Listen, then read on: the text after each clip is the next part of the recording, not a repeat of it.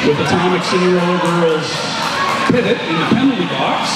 The jammer has to do all this work herself because she can't pass her jammer cover over to anybody. The pivot is the only position that is allowed to accept the star hat from the jammer.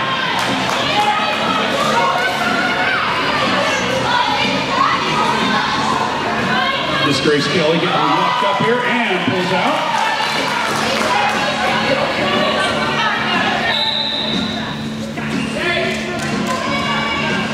And is the only jammer on the track.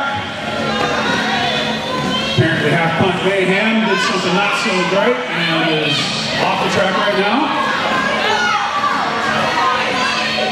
Miss Grace Kelly pushing through. The ref gives the no pack signal.